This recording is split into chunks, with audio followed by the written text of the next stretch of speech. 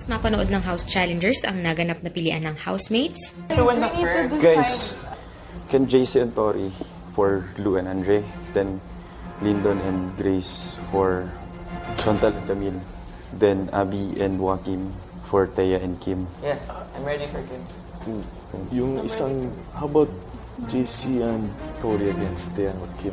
No? Mm, Are they strong? okay na si Kim No. And Joaquin. Ah, Kim kung tsaka si Thea. ganito Oh, yan, si- kung pinantay ko si Abby and Thea because they are both strong yan. Kung si Joaquim and Kim, they are Same. both strong din in mental. Mathematician. And they are... I think But, that endurance wise, hindi ko magpapatalo promise. Oh. yes, and we'll give them a good show. Magtiwala tayo sa sarili natin. Oo. And I believe Lyndon Ikaw and nawala sa Grace atin eh. for Camille and Sean. Camille and Chantal. Like, bring it on, girl. Okay. So, pero I would ask Tori and JC if it would be okay for them. Kasi there would be no other choice kasi ganun pa rin. Bakit gusto niya talaga si Amen? Kasi It's better. Yum Yum is, Kasi Yum Yum is, is Physical, ha? Physically strong. si Yum Yum is, Bakit gusto mo kami kay Lou and Andre? kasi kilala mo si Lou and uh, alam mo kung I feel paano like siya. we're overestimating Yum Yum. And sayang kayo dalawa kasi the first battle has to be won and it'll set the pace for the rest.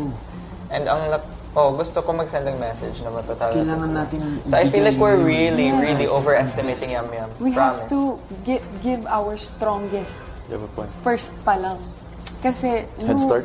Lou and Andre, they're strong. But because of their affection for each other, madidistract sila. Kung kami, Reason.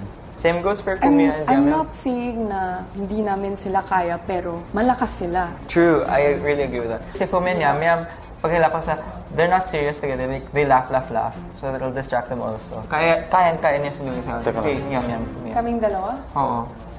I can distract Yum Yum. You can really. Kasi Yeah, kid, gusto kong makalaban yung wala akong emotions. Yeah. Para hindi ako I'm ma-distract talaga. close to Lou and Andre.